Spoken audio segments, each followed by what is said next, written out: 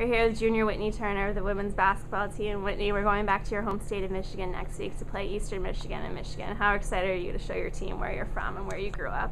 I'm super excited. I'm just really excited to show the team um, where I'm from and where I grew up and uh, have the team see my house and wel- welcome them in and have Thanksgiving with them. Okay. Any special Thanksgiving traditions we can look forward to at your house? Uh, not that I can think of, just the traditional go around, say what you're thankful for. Okay. Do you have a lot of family and friends that are going to come out and see BU play those two nights? Yeah, I think my whole family's coming to both games, especially the Eastern Michigan game, you know. Really excited. Okay. Do you know any girls on the other teams that we're facing just from, you know, playing in Michigan AAU or in high school? Uh, I think most of the girls that I knew on the teams graduated already. Um, so not not that I can think of, no no really rivals, I guess.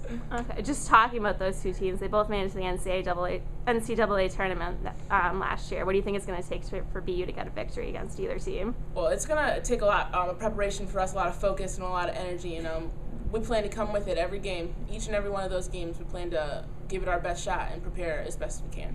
Okay, can you just talk about the start of the season so far? You guys are one and one heading into tomorrow night's game, and just what your role has been like. You know, starting instead of coming off the bench like you have in the past. You know, my roles changed a little bit with the loss of Caroline, but um, I'm just looking to fulfill the team's needs. So I'm talking a lot on defense, being the protector of the paint. That's a, I, we really pride ourselves on defense, and it's one of the staples of my game, and that's what I hope to bring to the floor every time I'm on there. Okay, well, we're looking forward to going home to Michigan with you, Whitney. Thanks. Thank you.